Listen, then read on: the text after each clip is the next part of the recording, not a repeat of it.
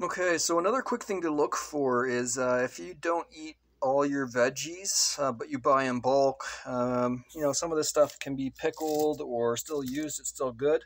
But you'll notice that it's actually, some of it's actually starting to sprout. So this is a bulb, and this is uh, onion. So in another video, I was just showing some grown onions, but onions are sort of layered, so inside the layer will be like a onion layer. Now, this itself, you don't need to plant the entire bulb for it to grow but you can just plant uh, the top. Now, one of the reasons why I'm hiding this is I don't know if these are uh, GMO or not, but obviously I'm not reselling this stuff at all. Um, and I don't know the seed source, so you got to be careful with that. Um, if you're growing in large amount or reselling, you don't want to use something but it doesn't actually say anything about the source of the seeds, so I don't have any knowledge of what's going on with this. Um, but this is an example just because I saw it was already sprouting here.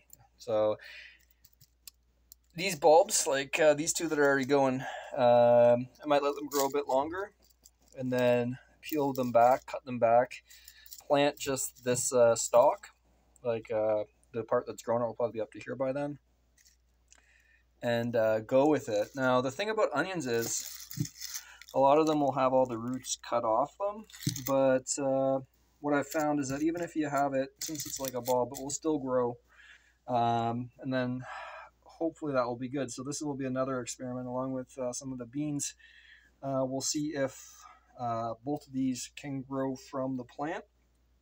Obviously, if there are food shortages, you are going to want to know how to get food. Um, and if there are fertilizer or seed shortages, like all the commercial seeds, you have big bulk farms, and then you have uh, you know little gardening seeds and stuff like that. So a lot of the seeds that will be available are actually plants that are foods that are seed. So bulbs, beans, uh, you buy lentils, all that stuff will sprout fairly easily. Potatoes, rather than being processed food. So it's all these whole foods um, that are going to provide you with second generation in case of shortages. The only way you're going to be able to get food if it's not on the shelves is to actually produce it yourself. And I don't really expect this year to be that bad, but I am thinking that if things progress, next year could be quite bad. Um, this winter, not not that we're in now, but next winter um, could be fairly bad if uh, we're entering into a global uh, food and uh, potentially conflict, and this only exacerbates the weather and water shortage issues. So it's not. I don't think it's that bad right now, even though people might be starting to freak in the mainstream now. Um, but this isn't out of nowhere. It's something that has been developing and you know, some may say it's getting a little bit better, some may say it's getting a little bit worse, but uh, it's definitely crunch time. And to be honest, if you have land, you can uh, sort of hold your own with that, right?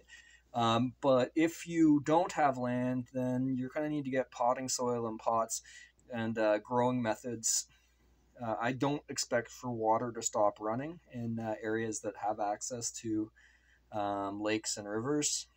So, other than water, kind of need soil and maybe nutrient. Uh, thing about farms is a lot of the nutrient is stripped out of the soils, so they put a lot of new nutrient in. But for uh, gardens and what, well, not gardens, but uh, yards or lawns um, that have sod over them, a lot of that nutrient is still in the soil. Uh, it may be contaminated in some areas, but where it's not, um, you know, you'll get a good year or two or few out of that soil um, without doing intensive agriculture.